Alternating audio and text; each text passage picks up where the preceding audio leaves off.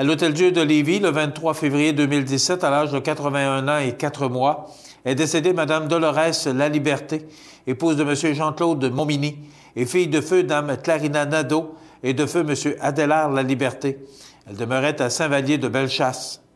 La famille recevra les condoléances à la salle sous la sacristie de l'église de Saint-Vallier, 369 rue de l'église Saint-Vallier de Bellechasse, vendredi 10 mars de 19h à 21h et samedi, jour des funérailles, à compter de 9h30. Le service religieux sera célébré le samedi 11 mars à 11h en l'église de Saint-Vallier de Bellechasse. Ces cendres seront déposées ultérieurement au cimetière paroissial. La famille tient à remercier les membres dévoués de l'équipe du CLSC de Bellechasse, de même que le personnel attentif de l'Hôtel-Dieu de Lévis.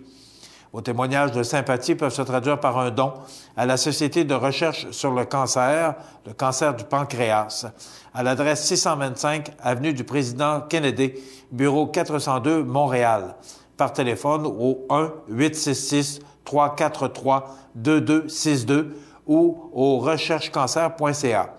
Des formulaires seront aussi disponibles lors des périodes de visite. La direction des funérailles a été confiée à la maison funéraire Laurent Normand, 115 rue Saint-Louis, Montmagny.